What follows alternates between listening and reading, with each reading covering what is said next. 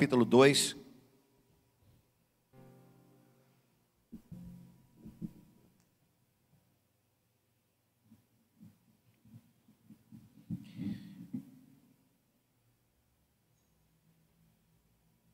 Eu quero falar sobre uma, uma mulher agraciada. Uma mulher agraciada. Claro, evidentemente, que todas as mulheres que estão na presença do Senhor são agraciadas. Todos nós que estamos na presença do Senhor somos agraciados. Mas houve uma mulher que ela foi muito mais do que agraciada. Ela cedeu, ela deu o seu ventre para gerar o Salvador do mundo. Estou falando de Maria. Nós não somos marianos, ou melhor, nós não adoramos Maria. Não somos mariólatras. Mas nós precisamos reconhecer a pessoa, a figura, a importância, a relevância de Maria.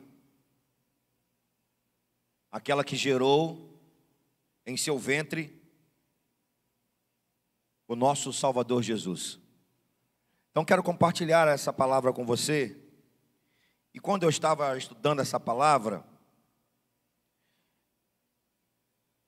eu tinha um direcionamento e depois Deus me levou para um outro direcionamento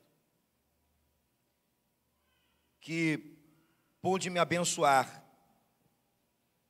ainda mais. Vamos ler a partir do versículo 26, capítulo 2 de Lucas.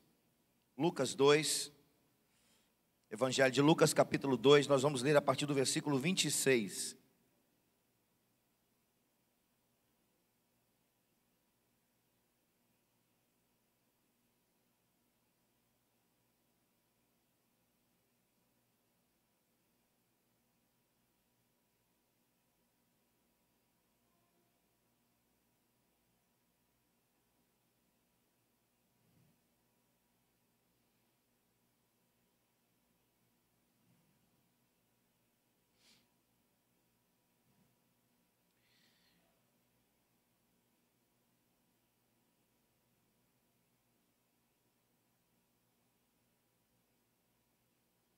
Lucas, eu acho que estou lendo o texto errado. É Lucas 1. Mateus, eu errei aí, Mateus. Perdão, por favor, Mateus. Te passei o texto errado. Não é Lucas 1, é Lucas 2. Tá? Conserta aí, por favor, para os irmãos em casa. Desculpa, Mateus. Evangelho de Lucas, capítulo 1, irmãos. Não é capítulo 2, é capítulo 1. Perdoe-me, por favor. 2 não, é 1. Um. Obrigado, Priscila. É, leva porque eu sei que eu vou derrubar. Lucas capítulo 1. Agora sim, a partir do versículo 26. Perdoe-me, por favor.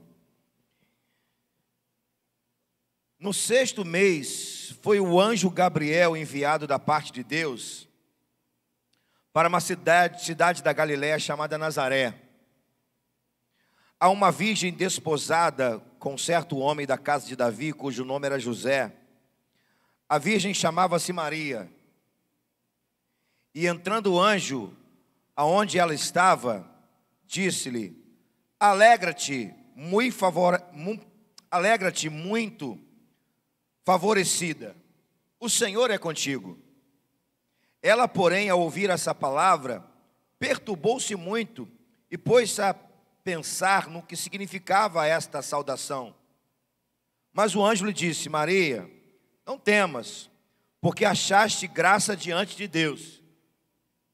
Eis que receberás e dará luz a um filho a quem chamarás pelo seu nome Jesus. Versículo 32. Este será grande e será chamado Filho do Altíssimo, Deus o Senhor lhe dará o trono de Davi, seu pai. Ele reinará para sempre sobre a casa de Jacó, e o seu reino não terá fim.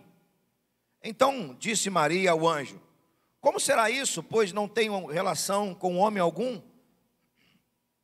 Respondeu-lhe o anjo: Descerá sobre ti o Espírito Santo, e o poder do Altíssimo te envolverá com a sua sombra. Por isso, também o ente santo há de nascer, será chamado filho de Deus. E Isabel, tua parenta, igualmente concebeu um filho na sua velhice, sendo este já o sexto mês, naquele que dizia ser que dizia ser estéril, porque para Deus não, não haverá impossíveis em todas as suas promessas. Então disse Maria: Aqui está a serva do Senhor, que se cumpre em mim conforme a sua palavra. E o anjo se ausentou dela. Vamos continuar. Versículo 39. Naqueles dias, dispôs-se Maria, foi apressadamente à região montanhosa, a cidade de Judá, entrou na casa de Zacarias e saudou Isabel. Ouvindo esta, a saudação de Maria, a criança lhe estremeceu no ventre. Então Isabel ficou possuída do Espírito Santo. E exclamou em alta voz: Bendita és tu entre as mulheres, e bendito o fruto do teu ventre. De onde me provém que me venha visitar a mãe do meu Senhor? Pois logo me chamou aos aos ouvidos a voz da tua salvação, a criança estremeceu de alegria dentro de mim. Bem-aventurado a que creu, porque serão cumpridas as palavras que foram ditas da parte do Senhor.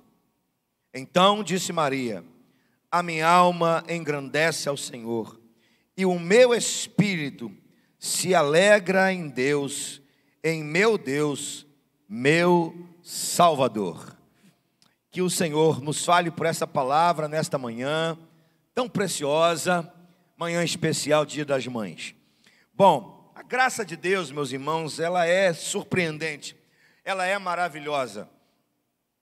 Quando ela vem e se cumpre em nossa vida, a graça de Deus ela é capaz de mudar destinos, ela é capaz de mudar natureza. Foi o que aconteceu com Maria. Quando a graça de Deus visitou Maria, a sua vida mudou, o seu destino mudou. E ela com certeza nunca mais foi a mesma pessoa. Por causa da própria graça que agora estaria dentro dela. A graça não somente visitou Maria, mas a graça habitou dentro de Maria. Paulo vai dizer que a graça se há manifestado. Ele coloca no masculino, artigo no masculino, manifestado. Por quê? Porque a graça é o próprio Cristo. A graça em pessoa. Obrigado, pastor. Cristo é a graça em pessoa. Então Maria não somente foi visitada pela graça, como ela passou a ter dentro dela a graça em pessoa. Que coisa maravilhosa, irmãos coisa fantástica.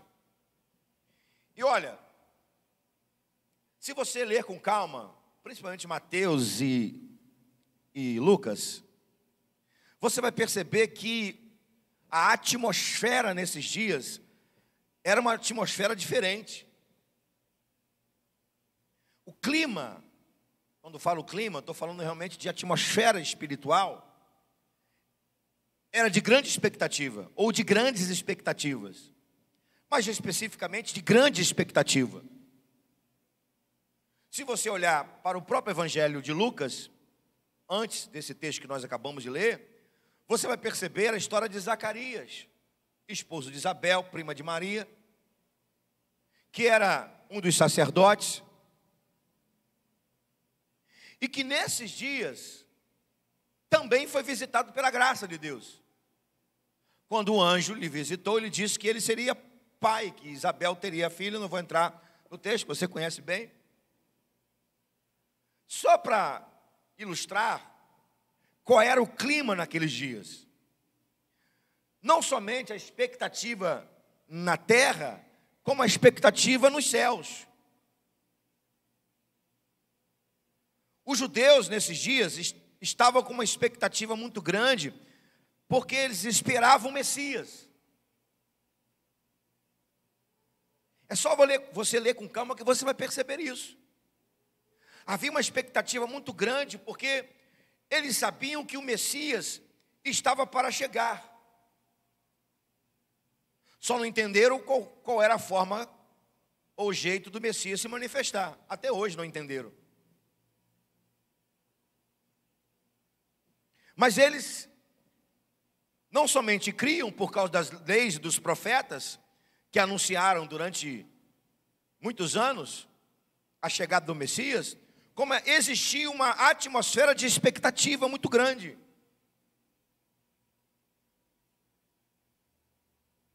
Isso vai nos ajudar aqui na mensagem.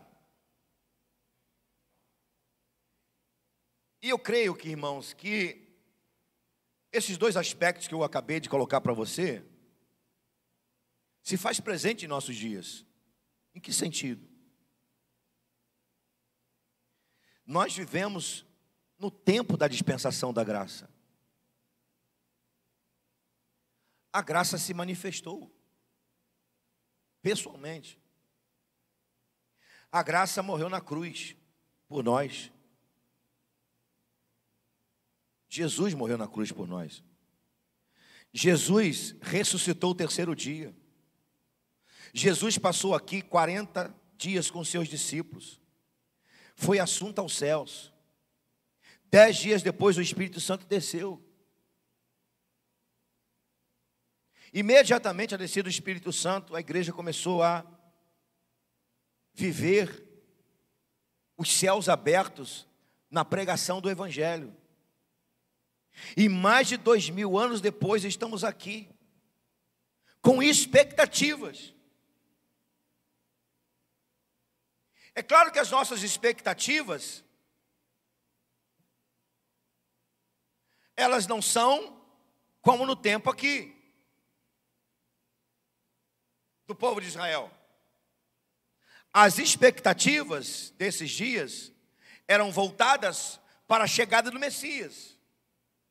A nossa expectativa é para a vinda do Senhor Jesus, para levar a igreja. E sabe o que eu sinto, ainda nessa nossa introdução? Fabrício, faz um favorzinho para mim, meu filho. Joga um pouco de retorno para mim. Obrigado. Sabe qual é a sensação que tenho? A sensação que tenho é que alguns vivem essa expectativa, outros não.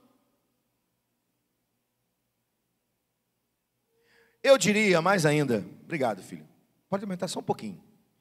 Eu diria mais ainda, a maioria, a maior parte, não tem essa expectativa. Uma pequena parte tem essa expectativa, está cheio de expectativa.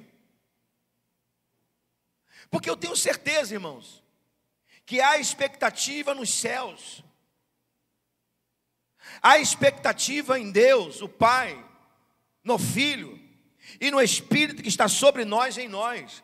A expectativa da manifestação, melhor dizendo, da vinda do Senhor para tirar os seus filhos e levar ao trono.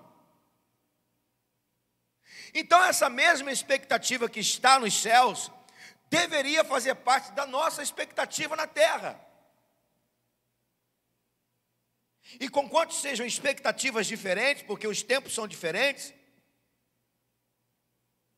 naqueles dias, o povo tinha essa expectativa. Então havia uma conexão de expectativa entre a terra e o céu, e o céu e a terra. E penso que a igreja de Jesus precisa ter essa expectativa, porque ela está bem próxima de acontecer. Mas isso é possível porque a graça de Deus está livre. O Evangelho está sendo pregado. Pessoas estão sendo restauradas, curadas, transformadas. O Espírito do Senhor está sobre a igreja e por meio da igreja, como Jesus falou para a igreja semana passada: o Espírito do Senhor está sobre mim, porque me ungiu para Essa palavra agora é nossa, porque Jesus nos deu. O Espírito do Senhor está sobre nós. E Ele tem nos ungido para evangelizar, pregar, curar, anunciar o ano aceitável do Senhor. Então essa expectativa, ela é em função da graça que vivemos. E é em função do próximo evento que está para acontecer. Aqui, o próximo evento que estava para acontecer, qual era? O nascimento do Salvador. E qual é a nossa expectativa hoje? A vinda do nosso Senhor.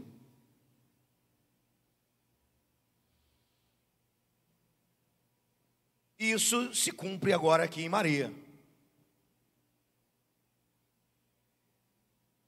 E ao cumprir-se em Maria, ela vai viver algumas experiências. E essas experiências que eu quero compartilhar com você aqui nesta manhã são essas experiências que abençoaram a minha vida. Eu quero dividir com você nesta manhã. Não vou demorar. Sempre nos dias de mãe, de pai, de pastor, eu não demoro na mensagem. Porque entendo o valor da gente ir para casa daqui a pouco almoçar com a nossa mamãe, né, em agosto com o nosso papai, em junho com os pastores, no caso aí, eu e a minha família. E também porque nesses dias a gente sempre tem um momento especial para as mães. A irmã Sidney daqui a pouquinho vai vir dar uma palavra aqui para as mães que estão aqui, que estão em casa. Então eu prometo não demorar. Mas eu quero compartilhar com você, meu amado, minha amada, quais as experiências que Maria viveu depois que a graça lhe visitou ela vivia algumas experiências. A primeira experiência que Maria foi viver é ser envolvido por uma promessa. Isso está no versículo 26 ao versículo 29. Ela é envolvida por uma promessa. Qual promessa? A promessa de que o Emanuel, o Deus conosco, estaria agora dentro do seu ventre. Você pode reparar isso do versículo 26 ao versículo 29. Ela é envolvida por uma promessa. Antes de falar dessa promessa que envolveu Maria, eu afirmo, aliás, eu não, perdoa, a Bíblia, no seu texto, no seu contexto, vai nos mostrar que Maria estava preparada para viver a promessa. Porque uma coisa é você desejar a promessa, outra coisa é você estar preparado para vivê-la. Vou repetir. Uma coisa é você desejar viver uma promessa, outra coisa é você estar preparado para vivê-la. E a Bíblia está nos mostrando que Maria estava preparada para viver uma promessa. De que forma?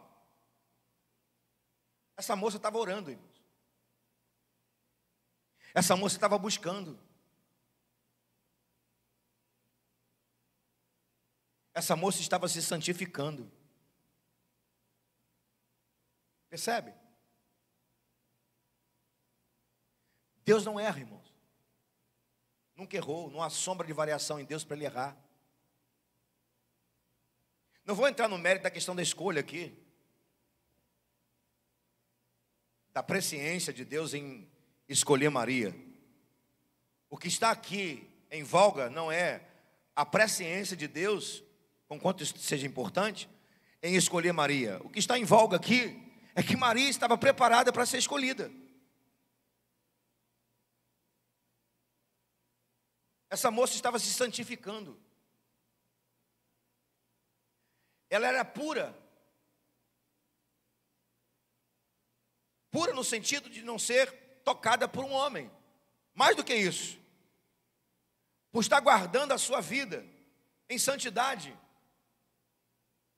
Estava orando, buscando, estava em santidade e santificação.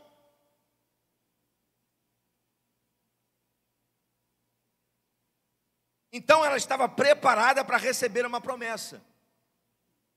Quando o anjo fala com ela, o anjo Gabriel,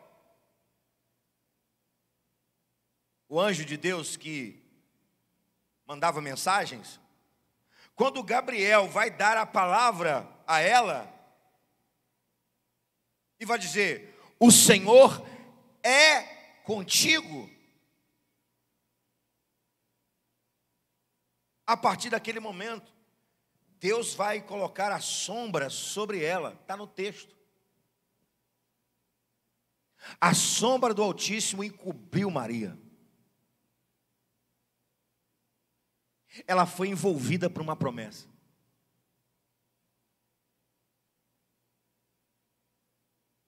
Algumas pessoas vão dizer que quem tem promessa não morre.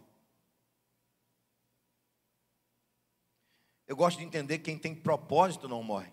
Enquanto o propósito não for cumprido, a pessoa abre mão do propósito. Eu entendo dessa forma. Maria foi envolvida por uma promessa.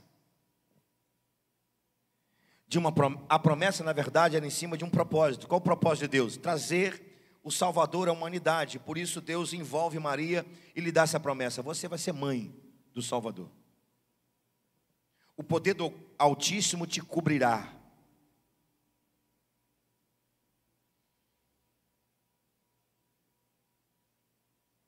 Que experiência, irmãos. Eu não sei se você já teve essa experiência de você ouvir de Deus, de você sentir de Deus que uma promessa está vindo sobre a sua vida. Se você ainda não teve essa experiência, peça a Deus para te dar. Peça ao Senhor para te envolver com uma promessa, porque Deus tem promessa para todo mundo. Talvez você ainda não esteja preparado para receber uma promessa. O fato é que Deus tem promessa para todos nós. Promessas espirituais e promessas naturais. Repito, a grande questão é se nós estamos preparados para sermos envolvidos por uma promessa. Quem ainda não viveu uma promessa de Deus e não recebeu uma promessa para que essa promessa se cumpra, porque toda promessa tem que ser cumprida, uma, a promessa um dia deixa de ser promessa e passa a ser uma realidade. Mas antes de ser uma realidade, ela é uma promessa. É assim que Deus faz, irmãos. Deus é um Deus de promessa, mas também é um Deus de realidades. Mas antes das realidades de Deus acontecer no mundo físico, elas vêm em forma de promessas. E se você está preparado para viver uma promessa de Deus, você vai ter a experiência de ser envolvido por ela. E até essa promessa se cumprir,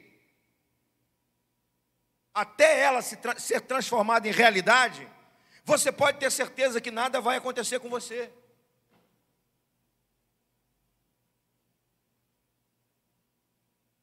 Você acha que o diabo estava satisfeito? Desde Gênesis até aqui, o diabo tentou fazer de tudo para impedir que essa promessa acontecesse. Quer um exemplo? Um só. Aí eu fecho esse ponto. Um exemplo. A gente sabe, dentro do, contexto bíblico, que Jesus ele é uma promessa em forma de genealogia e pelo sacrifício. Então, tanto faz a questão genealógica de Jesus e a questão do sacrifício, Deus sempre olhou para os seus filhos, desde Gênesis, a partir de Adão e de Eva, e por aí vai. Foi, foi, foi. Vou parar em Abraão. Porque Jesus vem de uma linhagem. Ele não vem de qualquer povo, ele vem do povo judeu. E sabe o que aconteceu com, com Abraão e Sara? Duas vezes. Tanto o faraó quanto o rei de Gerar desejaram Sara. E sabe quem impediu do faraó e do rei de Gerar tocarem em Sara? Deus, diretamente. E sabe por quê? Para não manchar a genealogia do Salvador. Para não manchar o sangue do Salvador. Isso é só para a gente entender que quando vivemos uma promessa, estamos debaixo de uma promessa, o próprio Deus se encarrega de nos guardar, de nos livrar, de nos proteger e de fazer cumprir a promessa dele na nossa vida. Que você nessa manhã seja envolvido por uma promessa de Deus e que você seja envolvido tanto por essa promessa, tanto por essa promessa, que a sua vida, o seu destino, a sua realidade seja, sejam tocadas diretamente pelo próprio Deus. Amém? Segunda experiência de Maria que eu quero dividir com você nesta manhã. A segunda experiência de Maria é a experiência da entrega. Repare, por favor, a partir do versículo 30. Olha o que diz o versículo 30. Mas o anjo lhe disse: Claro, o anjo estava dizendo, já estava falando. Ele continuou falando, só que é uma mudança de palavras aqui do anjo. Ele está agora narrando. É, primeiro ele fala que Maria seria mãe. Né? E, e também ele anuncia. E, perdão, ele se apresenta, ele saúda, né? Ele saúda Maria, e agora ele vai narrar o que vai acontecer com ela. A partir do versículo 30, ele vai narrar o, o que vai acontecer com ela. Aí você vai até o versículo 37.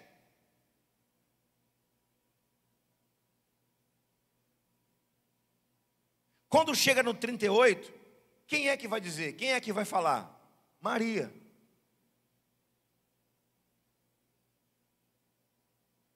Perceba. Gabriel, o anjo, está falando, está dizendo, está narrando como é que vai ser.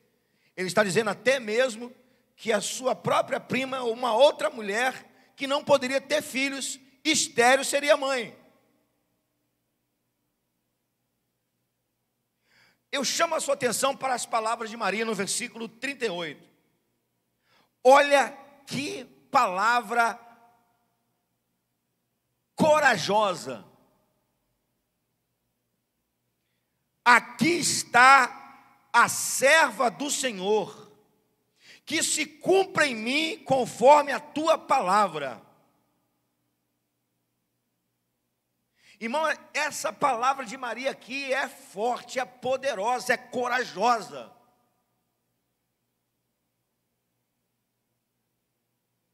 O que eu vou te falar não está escrito no texto, mas eu entendo dessa forma. Maria não calculou os riscos. Porque pensa bem, ser mãe do Salvador naqueles dias, ser mãe de Jesus naquele dia, é se preparar para sofrer.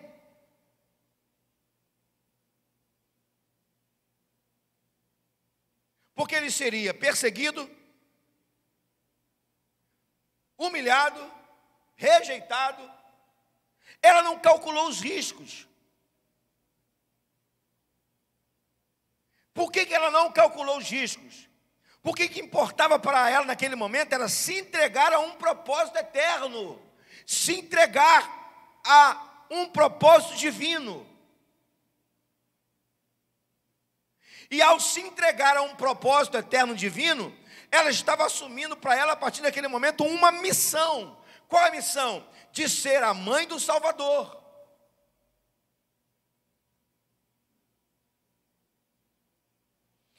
Eu vou ler novamente as palavras de Maria. Aqui está a tua serva, a serva do Senhor. Que se cumpra em mim conforme a tua palavra. Quantas vezes na vida nós já falamos isso para Deus, irmãos? Ou melhor, quantas vezes nós falamos em nossas orações isso que está aqui, não talvez conforme essa palavra ou essas palavras de Maria, mas nessa essência. Como assim? Quantas vezes falando para Deus, Senhor, estou aqui, faz a tua vontade.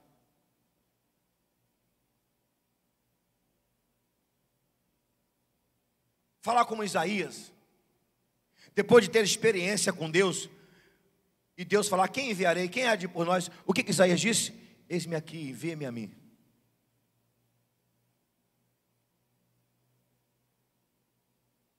Deixa eu falar uma coisa séria para você. Se entregar a Deus para que a promessa dele se cumpra, para que um propósito dele se cumpra, faz parte da nossa natureza de experiências com Deus. Vou ser um pouquinho mais claro.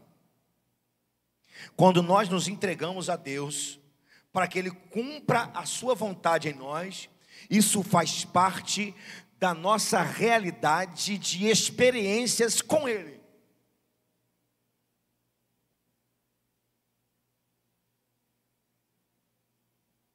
Pastor Valmir gosta de citar uma frase que eu gosto muito. Deus não faz nada pelos homens a não ser através dos homens.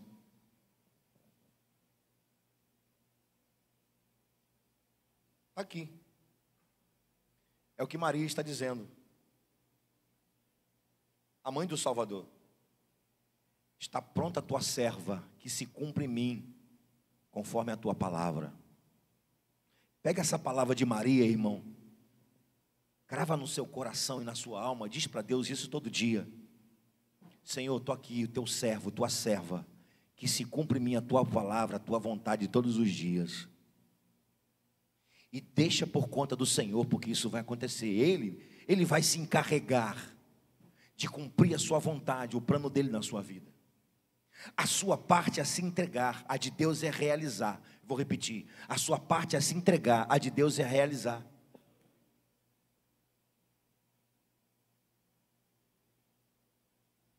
O querer, o efetuar é de Deus. A de se apresentar, a de se entregar, é sua, é minha, é nossa. O grande problema é que vivemos assim uma, uma realidade nas igrejas de pessoas omissas. De pessoas que estão tão preocupadas com as suas coisas, com as suas vontades, com os seus desejos, com as suas manias, com seus prazeres pessoais, que muitas das vezes não são pecado. Eu sempre gosto de dizer que nos últimos dias, o que tem afastado as pessoas de Deus, da comunhão com Deus, da comunhão com o Espírito Santo, da palavra, da oração, não são coisas pecaminosas.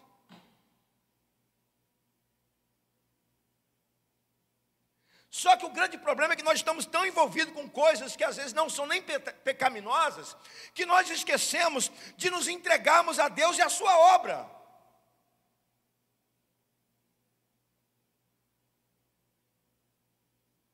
Aí, às vezes, assim, temos dificuldade de pessoas para viver esse ministério, viver esse ministério, viver é, esse cargo, não, porque a gente não trabalha com cargo aqui.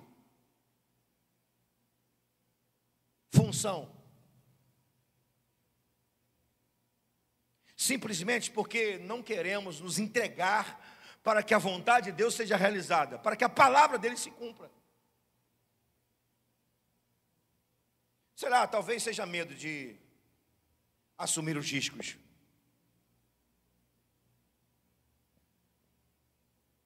É, se eu for viver esse ministério, eu vou ter que fazer isso, eu vou, ih, eu vou ter que me desgastar aqui, eu vou ter que, é, eu vou ter que abrir mão disso e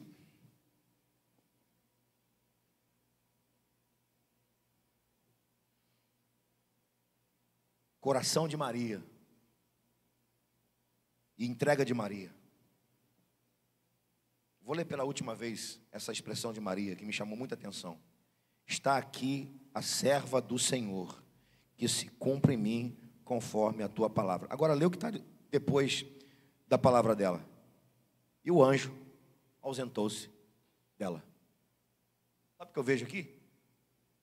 Isso aqui eu não vi em nenhum comentário, Champlin, Moody, Barclay, não. Senti no Espírito.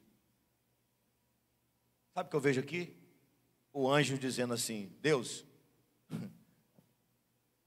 cumpri a minha parte, cumpri a minha função e estou satisfeito. O Senhor acertou na pessoa. É ela mesma. Deixa eu ir embora, porque está pronto. Só pode continuar a fazer a obra. É ela mesma. É serva. Essa é serva. Assim sinto. O anjo virando as costas, indo embora, dizendo: senhor escolheu certo. Essa aí é serva.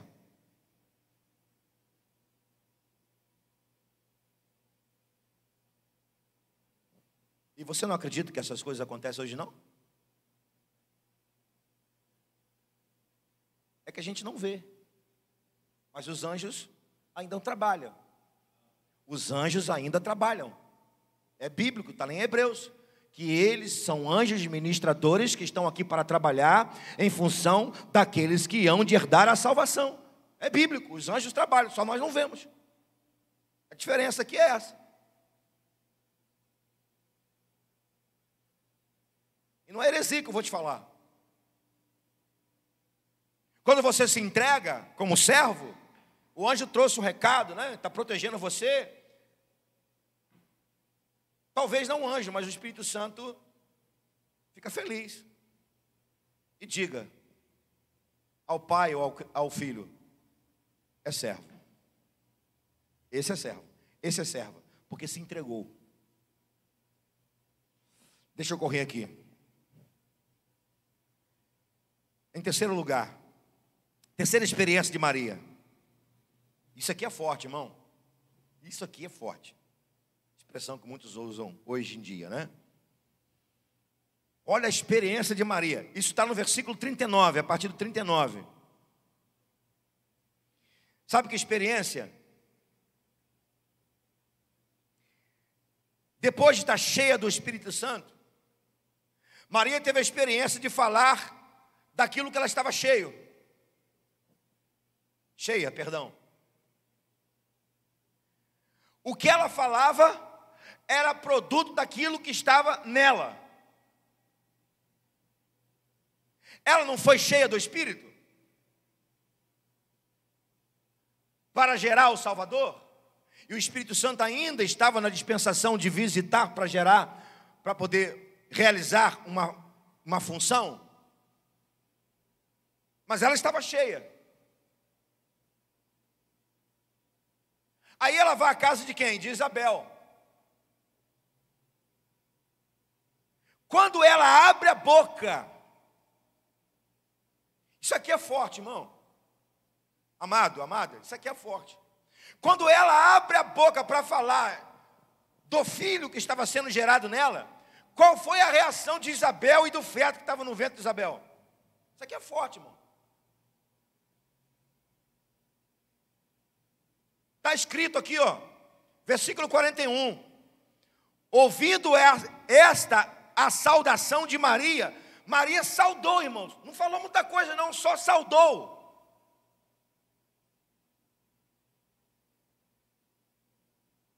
Ela entrou na casa de Zacarias e saudou. Está escrito, não estou inventando, está escrito.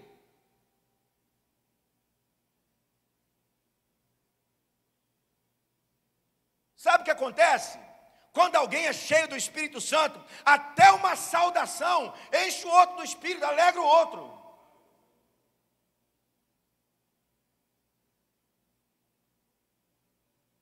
Ela saudou Zacarias e Maria. Quando ela saudou, porque ela estava cheia, quando a boca dela deu uma saudação, Isabel ficou cheia do Espírito, está escrito, está aqui, ó. Ficou possuída do Espírito Santo. É que a gente passa, às vezes, por alguns versículos, ou finge que não está escrito, ou não entende que está escrito, ou não quer entender que aquilo está escrito. Uma das três coisas.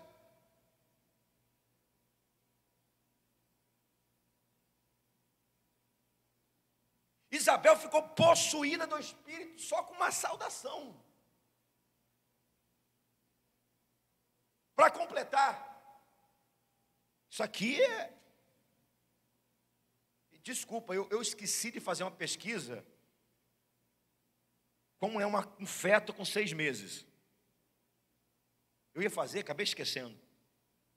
Depois você faz essa pesquisa. Uma criança com seis meses no ventre de uma mãe, como que ela está? Qual o tamanho?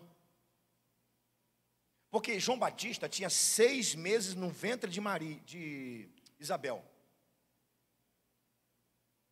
Ainda era um feto em formação. Mas quando Maria vai saudar a mãe dela, o texto está dizendo que essa criança estremeceu de alegria dentro dela. Está escrito, irmão, no versículo 44. Meu Deus, será que a gente não percebe as coisas?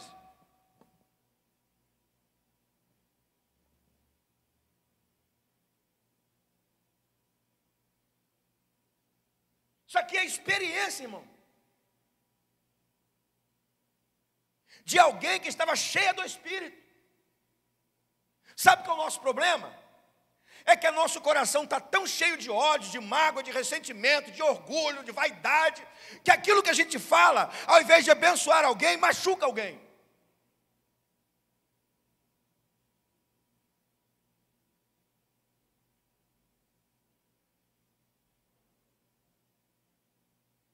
O que, que Jesus disse? A boca fala o que está cheio o quê? Está aí. Não estou inventando, não. Está escrito. A boca fala que o coração está cheio. Se o coração seu está cheio do Espírito, aquilo que você vai falar vai gerar vida. É simples. Até uma saudação.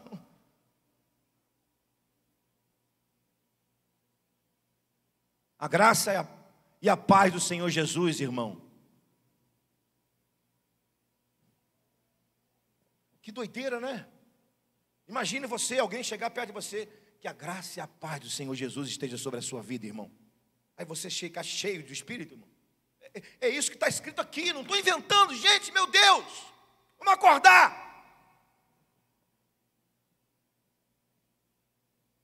É claro que Maria não usou a graça, porque ela era uma, uma judia, mas ela saudou com a paz.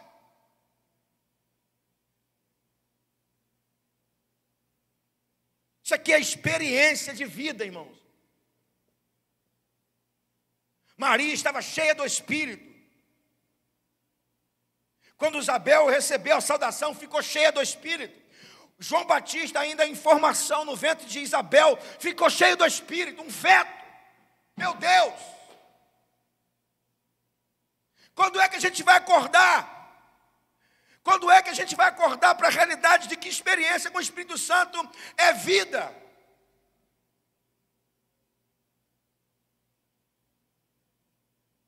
Até quando vamos machucar o nosso filho, nossa filha, nosso pai, nossa mãe? Com as nossas atitudes ou com nossas palavras? Deixa eu dizer mais uma verdade para você que talvez vai doer.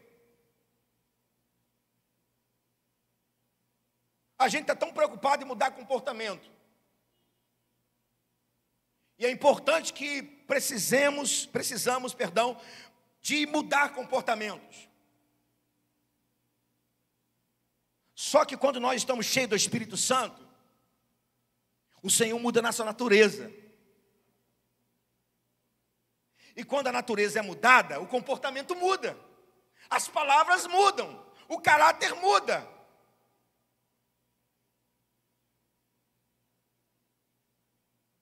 Quando você está cheio do Espírito Santo, a natureza adâmica está dentro de você, vai morrendo. E a natureza de Cristo vai crescendo. Aí os comportamentos mudam, as palavras mudam, o sentimento muda, a gente perdoa mais fácil, a gente tem misericórdia mais fácil, a gente ama mais fácil. Porque nos tornamos semelhantes a Deus, irmãos. Eu disse outro dias aqui que se você não tiver misericórdia da pessoa, não, tiver, não perdoar alguém, você está sendo igual o diabo.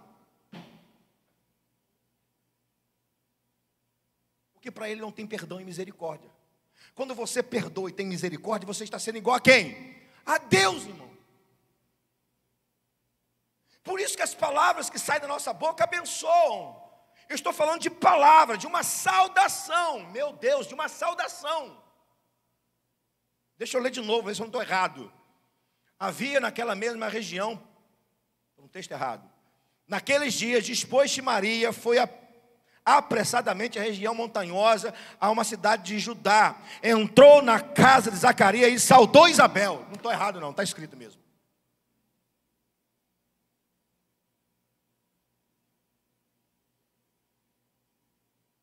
Deixa eu terminar.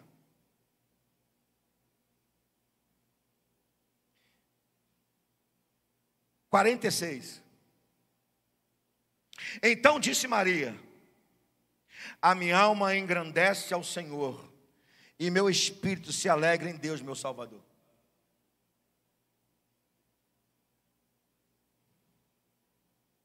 Eu quero terminar dizendo a você que quando a graça nos visita, a nossa adoração, o nosso louvor, ele se torna real. Ele se torna um louvor, uma adoração de verdade.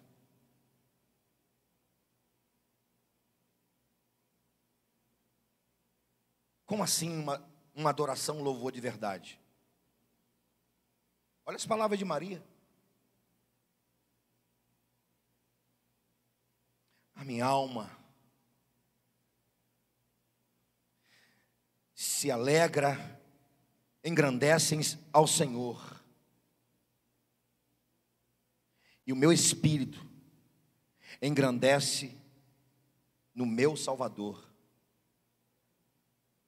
Maria louva, adora no corpo, na alma e no espírito.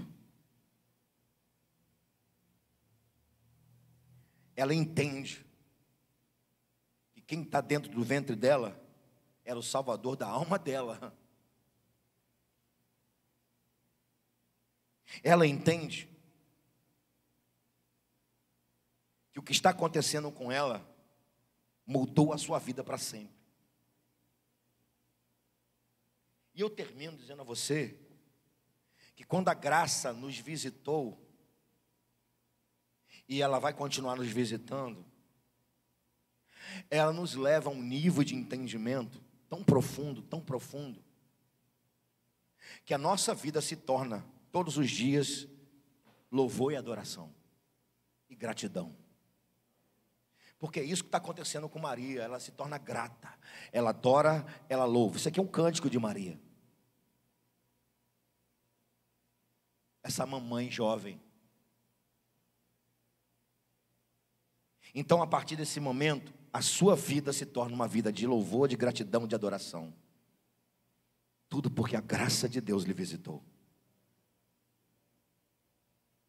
Que a sua vida, que a minha vida, que a nossa vida se torne atos de louvor, de adoração e de gratidão ao nosso Senhor e ao nosso Salvador. Amém? Que Deus nos abençoe. Amém? Irmã Sidineia, cadê ela?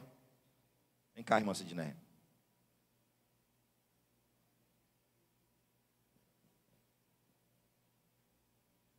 Um microfone aqui higienizado para a irmã Sidineia, por favor.